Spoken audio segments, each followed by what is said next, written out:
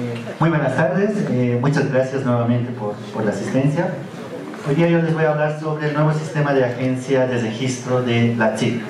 Como bien lo ha indicado mi, mi compañero Johnny, nosotros somos una entidad de servicios y como tal siempre estamos en busca de ofrecer una mejor calidad, una mejor gestión de servicios de cara a nuestros usuarios, que eh, en nuestro caso son la mayoría de entidades públicas, pero también son eh, ciudadanos de a pie. Por ello, voy a hablarles, como les decía, del nuevo sistema de agencias de registro. Una agencia de registro es, para los que estaban presentes en las exposiciones de esta mañana, eh, ya deben saberlo, pero para los que no estaban yo les explico. De acuerdo a la infraestructura de, eh, Nacional de Certificación Digital, donde tenemos la entidad certificadora ahí, que es la ATT, que nos regula, que regula toda la, toda la, infraestructura de certificación digital. Debajo están las entidades certificadoras, que son todas las que ellas están autorizadas para emitir certificados digitales. Eh, nosotros, ANSIP, somos la única entidad certificadora pública y pueden existir varias entidades certificadoras privadas. Cada entidad certificadora tiene bajo eh, su dependencia agencias de registro. Las agencias de registro son aquellas entidades o oficinas que se encargan de realizar la validación, identificación de la información que presentan los ciudadanos, los usuarios, para obtener un certificado digital. Hago siempre una analogía con el CEGIP. El CEGIP tiene una unidad de eh, base de datos, una unidad de TICS, en donde se centraliza toda la información de todos los ciudadanos pero tiene distintas oficinas en donde se realizan los, eh, los trámites como tal, ¿no? donde vamos, nos sacan la foto, capturamos, capturan nuestra huella, eh, nos hacen firmar, nos imprimen el documento. Muy similar es cómo funciona. Así les decía, tiene eh, igual una oficina que es donde nos indicado Johnny, en la calle Mercado de Ayacucho, donde nosotros centralizamos la información. Tenemos nuestro data center, nuestra infraestructura, nuestros servidores, nuestras réplicas de servidores en donde almacenamos nuestra clave privada con la que nosotros firmamos digitalmente las solicitudes que llegan de ustedes. Las agencias de registro son todas aquellas oficinas que dependan de nosotros y que realicen el registro y la identificación con servicios de interoperabilidad a través de CGI, por ejemplo, y donde se tomen la respectiva captura de foto y huella. Actualmente estamos con trámites para que aduana sea una, de, es una agencia de registro nuestra especializada para su seguro. Más adelante les van a explicar personal de la aduana cómo es que ellos operan. Estamos con trámites, con impuestos, con el Servicio Nacional de Impuestos, para que ellos también sean agencias de registro. Hace unos cuatro, unos cinco días más o menos, eh, el presidente de impuestos ha lanzado una noticia en prensa, en medios, en medios audiovisuales, en donde se lanzaba el nuevo sistema de facturación electrónica. Han debido ver Este sistema, eh, el cambio de este sistema es que varias de las facturas objetivo es que todas, en un plazo de 5 años, si no me equivoco, se firmen digitalmente, sean firmadas digitalmente por cada uno de los eh, emisores de factura. Para ello, cada eh, emisor de factura va a tener que tener su certificado digital para que pueda firmar. Si nosotros actualmente como ANSIP, hemos comentado, solamente tenemos oficinas en La Paz, el sistema de facturación electrónica de impuestos no va a, no va a ser activo, ¿no? nosotros así vamos a hacer un cuello de botella. Es por eso de que estamos en tratativas con impuestos para que ellos sean una agencia de registro y en todas las oficinas en donde brindan atención al, cliente puedan, ser, eh, puedan registrar y emitir, solicitar certificados digitales. Eso es una agencia de registro. Pueden ser entidades distintas, pueden ser privados, pueden ser eh, oficinas, hay, hay empresas aseguradoras que también se están ofreciendo para ser agencias de registro. Debajo de, las agencias de registro están los ciudadanos que tengan su certificado digital, eh, que nosotros denominamos signatarios, aquellos que firman documentos con certificado digital. Esta es la estructura que se marca en el Decreto Supremo 1793, que esta mañana lo explicaba eh, Estefanía Alarcón en, la presentación de, la Entonces, si bien nosotros cumplimos todo lo que normativamente se nos exige como entidad certificadora, hemos venido a desarrollar un sistema, hemos estado desarrollando un sistema que nos va a permitir hacer la separación de roles. Quiere decir que más claramente, internamente, vamos a tener identificado qué hace una entidad certificadora y qué hace una agencia de registro. ¿Para qué? Para que cuando venga alguna entidad alguna entidad que esté interesada en ser agencia de registro nuestra, nosotros podamos decirle, ok, muchas gracias, tomar nuestro sistema de agencia de registro, tomar el fuerte, tomar los servicios, credenciales, absolutamente todo, implementarlo en tu infraestructura y ya puedes brindar los servicios de solicitud de certificación digital. Ese es uno de nuestros esta, esta, esta separación de roles viene normativamente hablando eh, explicada desde las resoluciones administrativas que la ATT ha emitido, que también nos explicaba Estefanía esta mañana. La DAR 31 que se encarga de todos los lineamientos técnicos para eh, las entidades certificadoras de ahí, la ATT. La DAR 32 se encarga de todos los lineamientos técnicos eh, para las entidades certificadoras, sean públicas o privadas. Nosotros, sí y las DAR 272 del 2017 se encargan todos los, se encarga de describir todos los elementos técnicos para eh, las agencias de registro, las que dependen de las entidades certificadoras. Ventajas de hacer esta separación de zonas. En el caso del sistema de entidad certificadora, tenemos la ventaja de que ahora la gestión de usuarios va a ser mucho más centralizada que antes. Vamos, ¿a qué se refiere esto? que como, como entidad certificadora, además de tener registrados a los usuarios que van a hacer la solicitud de certificados digitales, también vamos a tener registrados a las entidades que nos van a solicitar algún convenio. No sé, yo soy la entidad A que necesito implementar certificados digitales a nivel interno, puedo hacer un convenio con la TIC para que ellos me invitan una cierta cantidad de certificados digitales a determinado costo. Si bien este, eh, hacemos esto actualmente, el control eh, actual es de manera manual. Ya teniendo un sistema de eh, entidad certificadora, vamos a poder centralizar estos usuarios y dejar que toda la delegación del control se haga a través de, sistema. Tanto, como les decía, en convenios internacionales.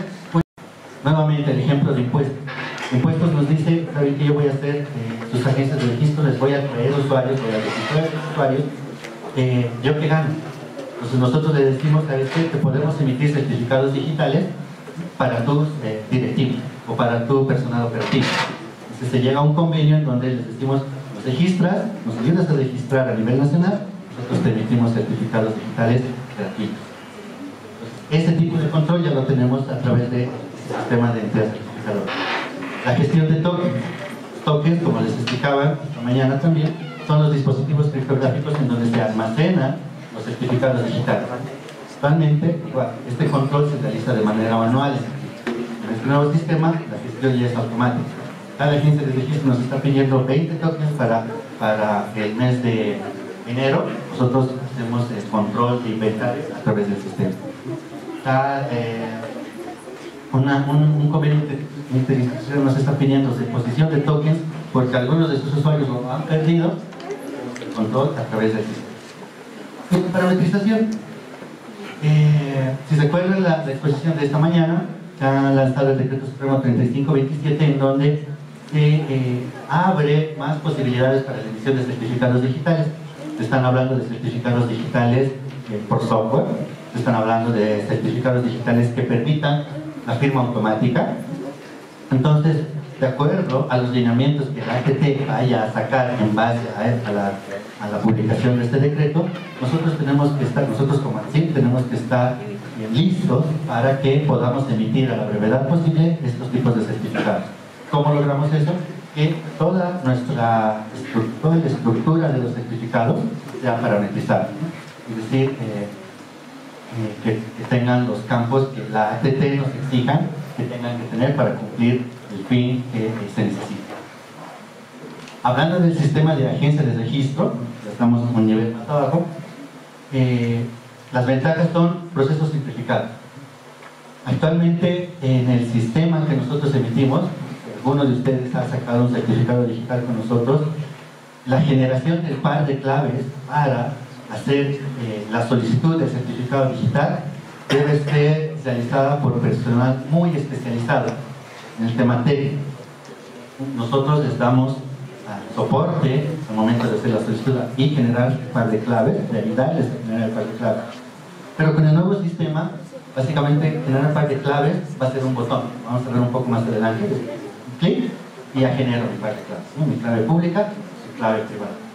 Además de que dentro de la normativa vigente indica de que la generación de de claves no debiera ser asistida, debiera ser responsabilidad de cada uno de los solicitantes. Mejor control. Vamos a tener un control sobre quiénes realizan las solicitudes y si las solicitudes las dejan pendientes. Hay muchos, muchos, muchos casos en donde eh, los usuarios, por, por, no saber manejar el sistema, por no, eh, no tener la información necesaria en muchos casos, dejan sus solicitudes pendientes. Y tenemos ahí información que eh, a la larga no, no nos es útil. En el caso del control para la agencia de registro, están implementando mecanismos que permitan a los usuarios, uno, eh, tener el control sobre su solicitud, hacer el seguimiento correspondiente y además de que en caso de que alguien se olvide de su solicitud, esta pueda expirar automáticamente. Facilidad de uso, muy de la mano de lo que les comentaba hace un instante. Estamos, bueno, se ha diseñado una interfaz mucho más amigable y se está dando mayor información al usuario. La administración del token también se ha mejorado. La administración del token la vamos a ver en la última exposición de día en la tarde, tiene una herramienta en donde se permite, eh, como les decía, generar el par de claves, eh, inicializar un token, cambiarle el número de, de, PIN o de PUC. Esta mañana Estefanía les decía, cuando ustedes bloquean un token después de tres intentos fallidos, eh, se puede desbloquear con el PUC. Actualmente el procedimiento es como Estefanía los decía, necesitan venir a las oficinas de la CID y nosotros les ayudamos a desbloquear el token. Pero ya con la liberación de nuestra herramienta de administración de token, ustedes van a poder hacerlo desde la de su casa. Eh, lo mismo para firmar documentos, no van a necesitar una aplicación adicional. Herramienta les va a permitir ayudar, les va a permitir firmar documentos, les decía, eh, realizar las de vocación de los certificados, de innovación de certificados, que lo vamos a ver un poquito más adelante conmigo y servicios de interoperabilidad. Esto quiere decir de que eh, ya eh, en el marco del gobierno electrónico, que, los, que lo explicaba muy bien nuestros compañeros de la GETIC, nosotros estamos estableciendo servicios de interoperabilidad con diversas instituciones para realizar la verificación de identidad al momento de emitir los certificados digitales, como por ejemplo el CEGIP.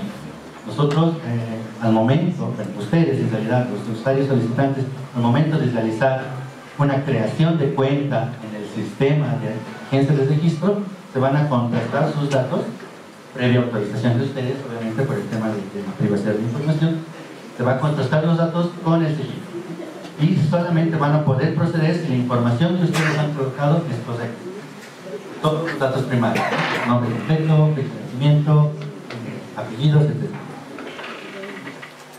El FIDO. El es eh, precisamente la herramienta de administración de token. Eh, hay una eh, exposición para el final de la tarde, una exposición mucho más, más token con el que se administra. Y la herramienta, el sistema de registro, se encarga de realizar, revisar que nuestra, nuestro, nuestra herramienta FIDO esté instalada en el equipo para poder administrar a través de esta herramienta el token. Tenemos el servicio web, la aplicación web, tenemos la herramienta FIDO y el hardware. Como estamos hablando de una aplicación web que tiene que interactuar con dispositivos de hardware, es necesario, es necesario tener una, una herramienta instalada físicamente ¿no? que, nos permite interactuar. Eso es el FIDO. Permite administrar dispositivos tipográficos, los tokens, a través de servicios de Además, esta herramienta FIDO tiene una interfaz de usuario que nos permiten hacer muchas más acciones, la administración de token, lo que decía, de manera mucho más, más directa. Compatibilidad de tokens, eh, actualmente tenemos una, esta herramienta FIDO funciona tanto para Linux como para Windows. Se está trabajando para que también funcione para usuarios con macOS. Tenemos los respectivos instaladores, funcionan con Java y sus manuales de para aquellas entidades o instituciones que quieran ser agencias de registro, también tenemos eh, su respectivo controlador. Además de tener la administración del token, tiene los drivers para funcionar con cámaras fotográficas, los sensores de huella dactilar, siempre y cuando estos estén homologados para hacer. Actualmente esta herramienta es compatible con los modelos de token IPAS 2003, que son los que emitimos, son con los que trabajamos en el y con los Athena IT Project, que son los que trabaja aduana. Ah, la ATT ha establecido en su normativa que todos los tokens, todos los dispositivos criptográficos que se utilicen en el mercado deben estar homologados por ellos. De momento tenemos que estos son los homologados, entonces somos compatibles con ellos. Cuando se saquen nuevos, nuevos dispositivos, nuevos modelos de dispositivos criptográficos y estos sean homologados, nuestro equipo de desarrollo se va a encargar también de trabajar en actualizar esta herramienta para ser compatible con él. Ahora sí vamos a ver de manera rápida cómo, cómo está este nuevo sistema. Les comento que todavía no está publicado. ¿Por qué? Porque nosotros como ATSIP anualmente estamos, tenemos que atender una auditoría del ATT para eh, el tema de cumplimiento de procedimientos, políticas, prácticas, etc. Entonces, justo, justo por estas fechas estamos en esta auditoría y la auditoría se está realizando con el nuevo sistema. Entonces, una vez que nosotros pasemos esta auditoría, eh, vamos a tener la certeza de que funcionamos de acuerdo a nuestros procedimientos, de que no tenemos ninguna observación del ATT, que es nuestra entidad reguladora, para eh, lanzar el sistema. Yo calculo que para finales de diciembre, en el peor de los casos, vamos a lanzar el sistema, pero eh, estamos aprovechando este taller para que podamos darles un vistazo adelantado. La parte de inicio de sesión, se utiliza el número de carnet de identidad y una contraseña. Si es que eh, no tenemos un usuario registrado, no tenemos una cuenta registrada, podemos registrar nuestros, nuestro usuario. Para ello, es lo que les comentaba, tenemos servicios de interoperabilidad con el SEGIP. Para el tema del registro se les va a pedir sus datos primarios, además de una contraseña y su correo electrónico. El correo electrónico les sirve para recibir las notificaciones y la contraseña, bueno, para acceder a, la Una vez nosotros accedamos al sistema, vamos a tener un botoncito de nuevo certificado, un listado de todos los certificados que tengamos con el botón de nuevo. Podemos tener varios tipos de certificados, ¿no? Les comentaba esta mañana en la que hay dos tipos, persona natural y persona jurídica. Yo como ciudadano puedo tener un certificado de persona natural y varios de persona jurídica, porque puedo ser representante legal de distintas entidades. Eh, normalmente esto pasa con, eh, los, contadores, ¿no? que eh, pueden ser contadores de varias instituciones privadas. Si es que ellos decidieran firmar a nombre de esas instituciones los documentos que emiten, van a necesitar un certificado de persona jurídica para cada una de las entidades.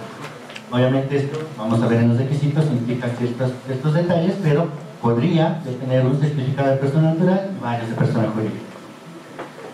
Los datos eh, que se necesitan para hacer una solicitud de certificado digital son seleccionar la agencia de registro. No se olviden que este es un sistema ya separado de la parte de la entidad certificadora, utilizado por cualquier otra institución que desee ser agencia de registro. Por lo tanto, lo primero que nos va a pedir es dónde yo quiero que me emitan, dónde quiero realizar yo mi solicitud de certificado digital.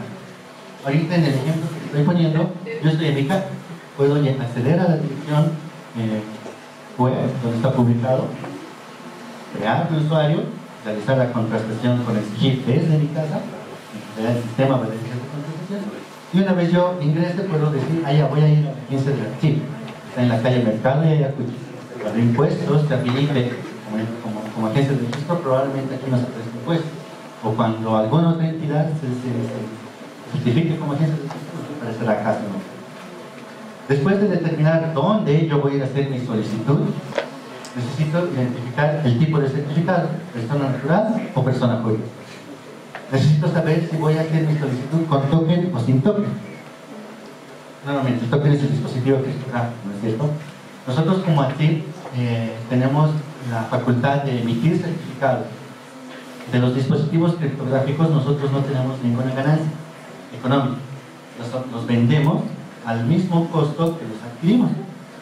Eh, ¿Por qué? Porque eh, entendemos de que al momento de ser lanzado el, tema de certificación digital, los dispositivos criptográficos no eran muy comunes encontrarlos en, el mercado informal. Entonces nosotros hemos eh, decidido darles esta facilidad a los usuarios. Tranquilamente, algunos de ustedes pueden, ahora creo que hay un poco más de, conocimiento en, el mercado, pueden adquirir un dispositivo criptográfico aparte, comprarlo eh, personalmente, es siempre y cuando cumpla los estándares y esté homologado por la TT, pues es reconocido por nuestro sistema. Entonces tenemos la opción de solicitar el tipo de certificado con token o sin token. Quiero que la chip me dé el token o no, o yo ya tengo un token. Dependiendo del tipo de certificado y de si estoy pidiendo el token o no estoy pidiendo el token, el costo va a variar. Un certificado de persona natural tiene un costo de 195 bolivianos por un año y un, y un certificado de persona jurídica tiene un costo de 370 bolivianos. El dispositivo, igual, por un año. El dispositivo criptográfico cuesta 200 bolivianos. Se vende al mismo costo que nosotros adquirimos. Entonces, yo adquiero, yo quiero un certificado de persona natural con token, 195 más 200 de 300. Y lo mismo para persona jurídica. Yo deseo adquirir un certificado de persona jurídica, son 370 más el token, son 570. El token ustedes lo adquieren y lo pueden utilizar tantas veces como quieran. Es decir, al cabo de la vigencia del certificado, el año del certificado, puedo solicitar una renovación, hago el costo del nuevo certificado, 195, 370, pero puedo utilizar el mismo token que adquirí inicialmente. Eh, después también necesitamos los datos de facturación. Como somos una institución de servicios, nosotros emitimos factura por cada uno de los servicios que entregamos a nuestros usuarios. En este caso, la factura va a ser eh, entregada de manera electrónica a sus correos electrónicos. necesitamos que nos especifiquen el número de NID y la razón social a quien va a ir dirigida la factura. Y después necesitamos que carguen los requisitos. Dependiendo del tipo de certificado que nosotros solicitemos, los, los requisitos varían. Para persona jurídica son el carnet de identidad nacional o extranjero, que esté vigente y que no esté observado por el.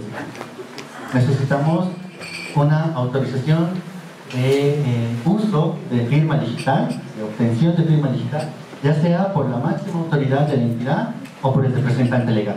Una nota que nos diga, señores, sí, yo estoy autorizando a Sobrera para que él obtenga certificado digital de tipo persona jurídica a nombre de mi institución. Esto tiene que decir la Y también estamos eh, una fotocopia de link, ¿no? estamos en línea. Para persona natural, los requisitos son mucho más sencillos. Fotocopia del canal nacional extranjero y la factura de luz y agua.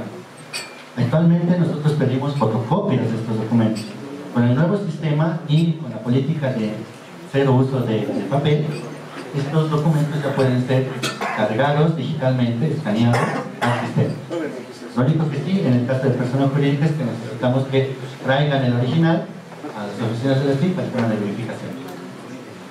Para ambos casos, nuevamente, les decimos que necesitamos el dispositivo que está homologado que cumpla un estándar internacional 140-2, que son estándares de seguridad que eh, nos aseguran que el dispositivo tiene todas las factores certificadas, tanto física como lógicamente. Y el pago que se dice, un comprobante. Esto, esto vamos a ver. Antes de entrar al pago, ya les decía que nuestro sistema, a través de esta herramienta FIDO, que la llamamos, realiza la verificación de si el token está en la lista blanca de dispositivos de modelos homologados por la Nos va a aparecer eh, el modelo del token y vamos a poder verificar. A través de la herramienta se hace una consulta al dispositivo, se verifica el modelo y nos da una este, este paso solamente es necesario si es que el dispositivo estamos solicitando un certificado digital sin token. Si decimos que estamos pidiendo que no vamos a pedir un certificado, digo, un token a la CIP, implica que nosotros, vamos, nosotros tenemos un token. Estamos pidiendo un certificado sin token. Tenemos el token. Entonces tenemos que conectar el token para que el sistema, la aplicación, realice la validación y sea un token con el que se pueda trabajar.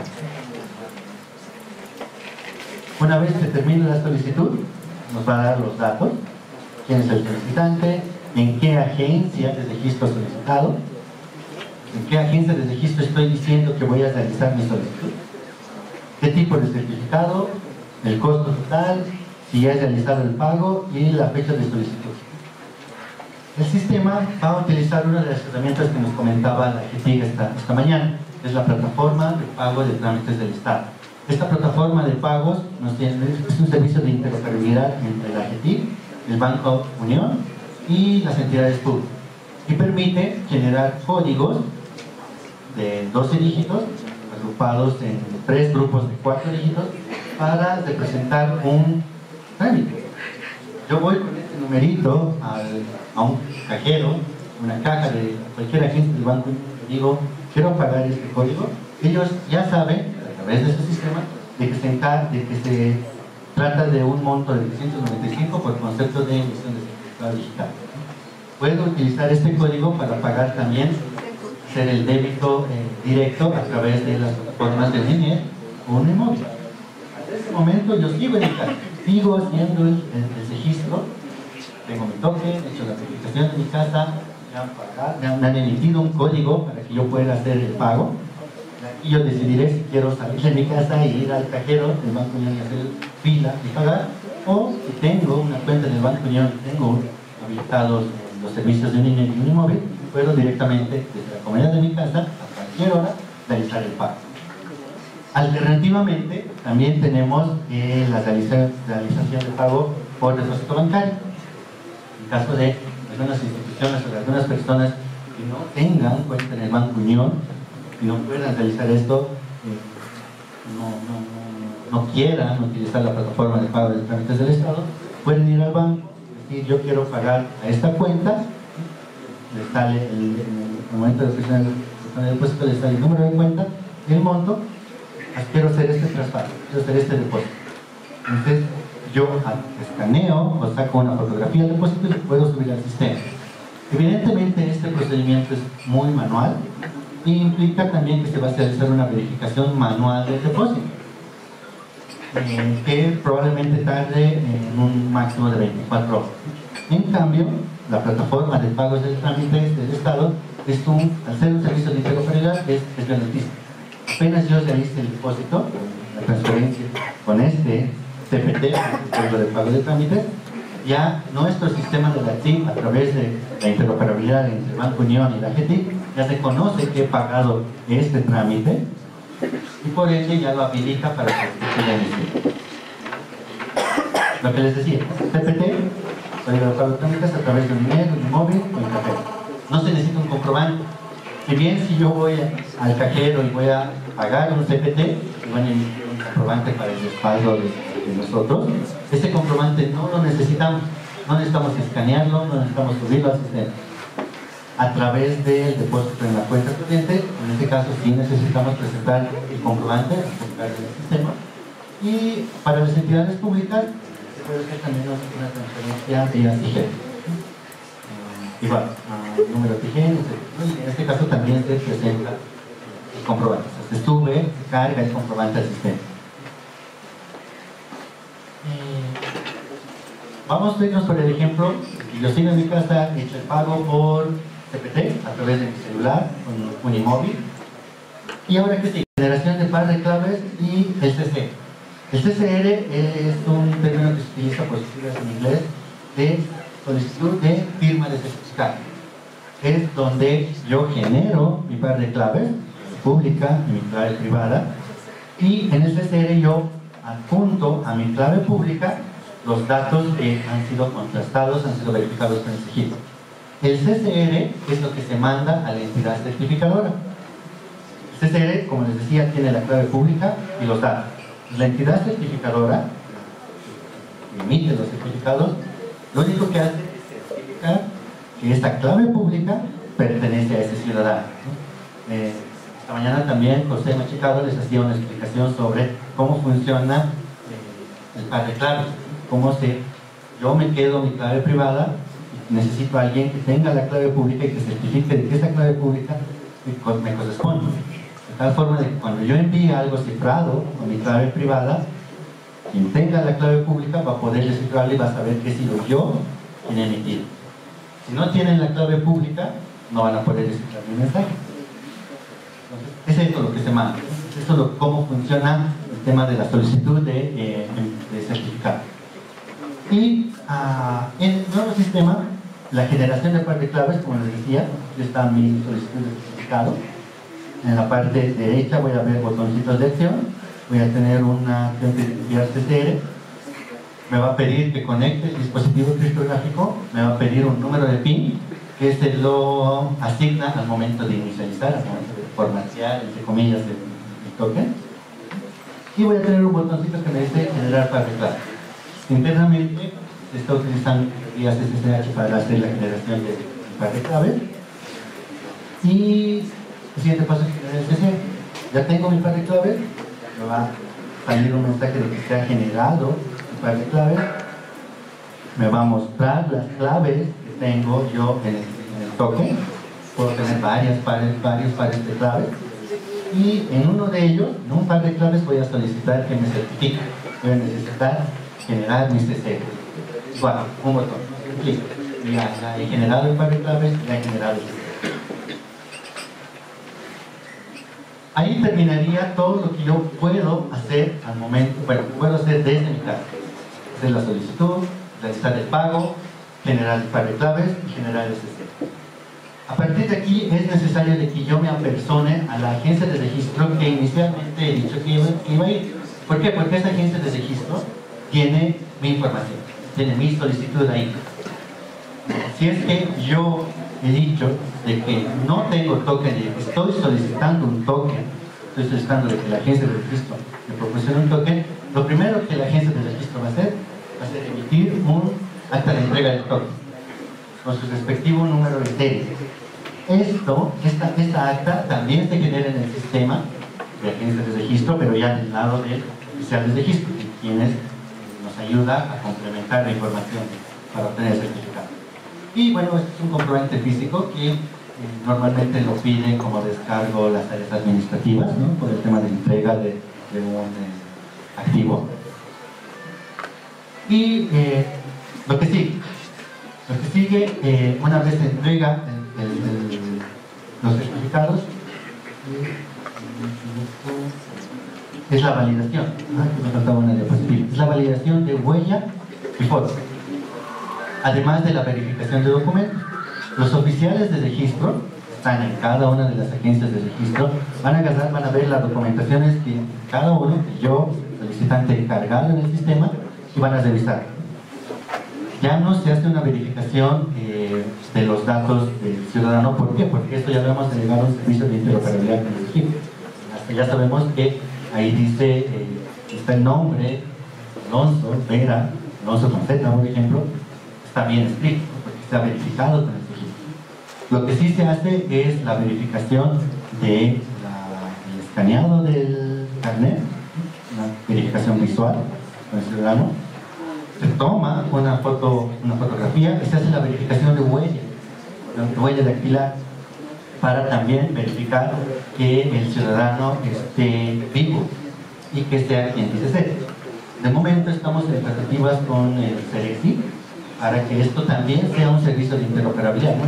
captura la huella y listo, ya sabemos que esta persona es quien Y la verificación de documentos, de que no haya subido su mascota en lugar de, de, de carnet de identidad. ¿no? Es una verificación visual de la Y listo. Hasta ahí solamente un ciudadano va a las, a agencias de registro para hacer la verificación.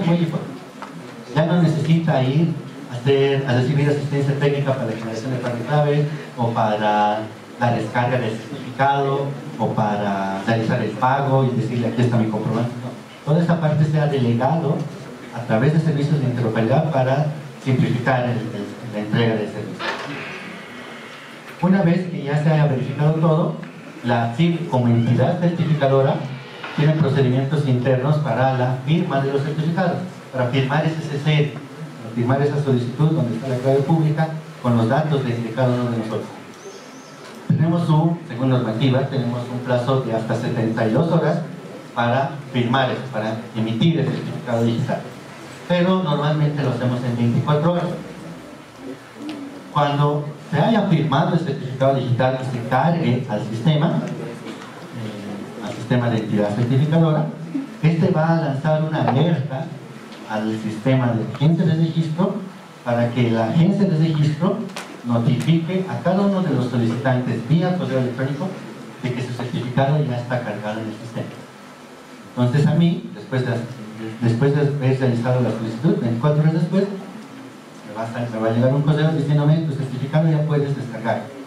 Accedo nuevamente al sistema, voy a ver que eh, mi estado de solicitud ya está en emitido, voy a ver en detalles, voy a ver una ficha muy similar a esta, en donde van a ver cuándo se ha emitido, fecha y hora, y hasta cuándo es vigente un certificado. Y voy a tener la opción de descargar. Entonces me va a pedir la aplicación que yo conecte el dispositivo criptográfico donde he generado el par de claves. La generación de par de claves se hace en el dispositivo criptográfico. Ahí se almacena tanto la clave pública como la clave privada. Y cuando yo haga clic, cuando inserte el dispositivo, conecte el dispositivo criptográfico y reconozca la clave privada con el alias que yo he mandado, con el mismo alias que yo he mandado en mi llave pública CCR, voy a poder descargar el cada una de las, cada clave, cada par de claves tiene un alias, un identificador, que tiene que ser idéntico al que eh, se genera en el certificado. De esa forma podemos asegurar de que se esté emitiendo el certificado para el par de claves que yo he generado. Y evitamos de que yo genere mi par de claves, genere mi CCR y venga con otro dispositivo criptográfico o, alguna persona malintencionada venga con su dispositivo criptográfico quiera descargar mi certificado. El sistema no le va a dejar porque tenemos el control a través del par de claves que se ha generado inicialmente. Cuando descargamos el certificado, nos va a dar una, un objeto. Ya tu certificado está en el toque. Ya estaríamos listos para firmar cualquier documento. Y precisamente eso nos va a pedir el sistema. ¿Por qué? Porque al ser nosotros una entidad de servicios, necesitamos que eh, nuestros usuarios nos firmen un contrato de adhesión al servicio, en donde están todas las condiciones, todos los términos, todas las eh, políticas, medidas de seguridad, obligaciones y derechos, tanto de los usuarios como de nosotros, entidades certificadoras. Y esto, qué mejor manera de hacerlo, eh, firmar digitalmente. Tenemos todo el respaldo legal para que al firmarlo digitalmente eh, sea legal, sea válido. Y al ser un contrato de adhesión al servicio, eh, de acuerdo a normativa, es necesario que esto es posible que solamente lo firme una parte, es decir, los que están aceptando el servicio, los usuarios. Nos va a dar la opción de firmar contrato y la misma herramienta nos va a dar la opción de, firmar a través del PIN lo vamos a ver, como les decía, más a detalle al final de la clase. Si es que nosotros no firmamos el contrato que nos muestra el sistema, eh, el certificado que se nos ha entregado, que se nos ha emitido, va a ser revocado eh, automáticamente a, los, a las 24 horas. Entonces es necesario de que firme el contrato. Lo primero que se hace después de descargar el certificado de es firmar el contrato. ¿Por qué? Porque además de ser eh, una aceptación las condiciones y obligaciones de ustedes, es un respaldo también para ustedes porque ahí se indica el tema de la relación, la de servicio de certificación y la vigencia, es por un año. El servicio que nosotros ofrecemos como así, una vez que se haya emitido el certificado, por tres puntos. La renovación de certificados, la revocación de certificados y la emisión de certificados. La renovación es cuando eh, nuestro certificado ha perdido su vigencia. Es como los, las cédulas de identidad o las licencias para conducir. Es válido hasta marzo del 2018. Abril, pues ya tendría que renovar un nuevo documento si quiero seguir manejando. Lo mismo, yo quiero seguir firmando documentos, después del periodo de vigencia de mi certificado necesito realizar una renovación. Condiciones para realizar una renovación debe ser realizado durante el periodo de vigencia. Es decir, que si mi certificado expira este viernes que viene, pierde su vigencia este viernes que viene, yo podría realizar la renovación 30 días antes. Hace 24 días ya podría hacer una renovación. ¿Por qué? Porque al momento de hacer una renovación, nosotros como entidad, como agencia de registro, así, no necesitamos la presencia física, no necesitamos que ustedes vuelvan a oficinas de la TIP para hacer captura de huella, toma fotográfica, queremos evitar este tipo de molestias. Entonces, cuando ustedes realizan una solicitud de renovación, van a tener que firmar digitalmente su solicitud para garantizar de que son ustedes quienes están realizando esa solicitud. ¿Y cómo hacen esto? Con un certificado válido, con un certificado que no haya perdido su vigencia. Por lo tanto, tiene que ser en un periodo válido. En los últimos 30 días de vigencia del certificado pueden solicitar una renovación. El día viernes, eh, mi certificado ha perdido su vigencia. El día sábado, yo quiero un certificado digital, tengo que hacer una solicitud como si fuese nuevo. Es decir, tengo que hacer el pago. Además de hacer el pago y el registro, todo tengo que apersonarme a una agencia de registro para hacer nuevamente la verificación de huella y foto. Eh, de eso trata la renovación. Lo vamos a ver un poquito en el sistema más adelante. La revocación. La revocación se encarga, de, bueno, se trata de cuando nosotros tenemos, hayamos perdido nuestro certificado digital y no queremos de que quien lo encuentre probablemente conozca nuestra, nuestro PIN, nuestra contraseña para acceder al, contenido del token y pueda firmar a nuestro nombre. Entonces, para evitar eso, nosotros podemos solicitar a los agentes de la revocación, que quiere decir la anulación del certificado digital. Pues una vez que nosotros uh, revocamos el certificado, este pasa a una lista de certificados digitales revocados y en el dispositivo criptográfico que yo he perdido, el certificado va a seguir ahí, pero todo lo que se firme digitalmente con ese certificado ya no es legal, ya no es válido. Porque al momento de realizar la verificación de si un documento es válido, un documento firmado digitalmente es válido, se hace precisamente la verificación de que ese documento no haya sido firmado con un certificado revocado. Si es que tenemos sospechas de que nuestra clave privada ha sido comprometida, copiada, extraída de alguna forma el certificado no pasa por temas de seguridad misma del token, pero en caso de los certificados por software probablemente pueda pasar.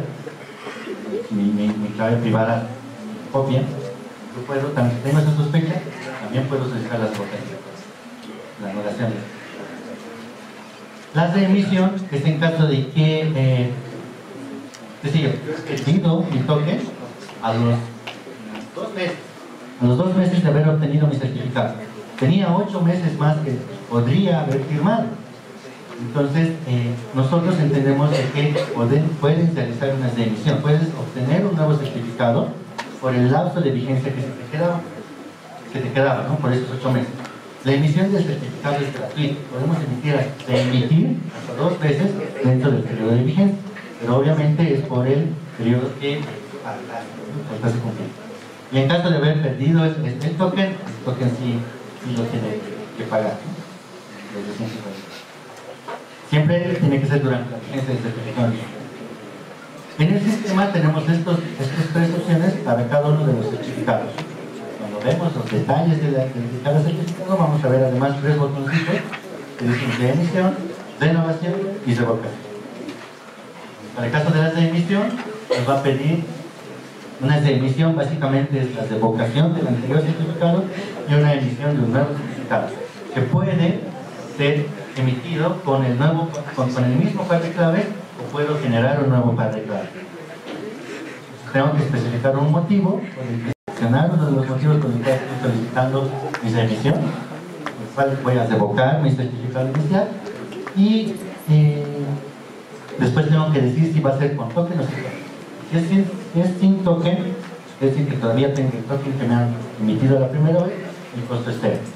Si es con token, el costo va a ser eh, 200 dólares, es el costo Y luego, luego bueno, ya el sistema se va a encargar de eh, generar un CCR, voy a tener que firmar el CCR y mandar el CCR a la entidad certificadora para que ellos envíen no es necesario de que asista a alguna agencia de registro para hacer el tema de verificación. En el caso de renovación de certificado es lo mismo. Hago una generación del CCR y luego eh, acepto mi, firmo mi nuevo contrato. O sea, bien, la renovación es para un nuevo certificado por un año, entonces hago mi solicitud 30 y hasta 30 días antes, en el último día antes de vigencia, genero mi CCR, mando mi CCR y el sistema me va a pedir que firme con mi certificado digital actual el nuevo contrato de adhesión el próximo certificado. Y ya me van a emitir la misma lógica, ¿no? Cada vez que se emite un certificado digital, me va a llegar un correo para que yo pueda descargarlo a través de para revocación de certificado, mucho, muy sencillo, simplemente elijo el motivo y le doy a revocar. Eh, si yo realizo las, la las, las solicitudes de revocación a través del sistema, eh, se entiende de que al ser yo la única persona con las credenciales de acceso para mi usuario, eh, es prueba suficiente de que yo estoy solicitando mi revocación. La revocación también puede solicitarse a través de correo electrónico o a través de una llamada a la CIP lo llamo y digo, soy Alonso Vera, quiero revocar mi certificado. Entonces, o escribo un correo, ¿no? A soporte, a soporte, a firma digital.o y solicitando mi revocación. Tanto por, llamados o por correo electrónico, la CIP nos va a devolver una llamada. Nos va a decir, hemos recibido una solicitud de revocación, es usted, ha sido, está confirmado, está seguro usted revocarlo, y doy lo que y recién van a revocar. Pero a través del sistema basta que haga la solicitud a través de mi usuario y las revocaciones automáticas. Finalmente, junto con el tema, junto con el sistema de, agencias de registro que estaríamos liberando, como para finales de diciembre, también vamos a liberar una nueva versión de nuestro validador de firmas digital, de nuestro validador de documentos firmados digitalmente. Actualmente nuestro validador funciona eh, conectado, o sea, funciona enviando, subiendo el archivo en memoria en servidor para que la verificación se haga de servidor. Hemos trabajado con herramientas JavaScript para que nos permitan hacer esa verificación, la mayor parte de esa verificación del lado del cliente. Por lo tanto, la verificación es mucho más rápida.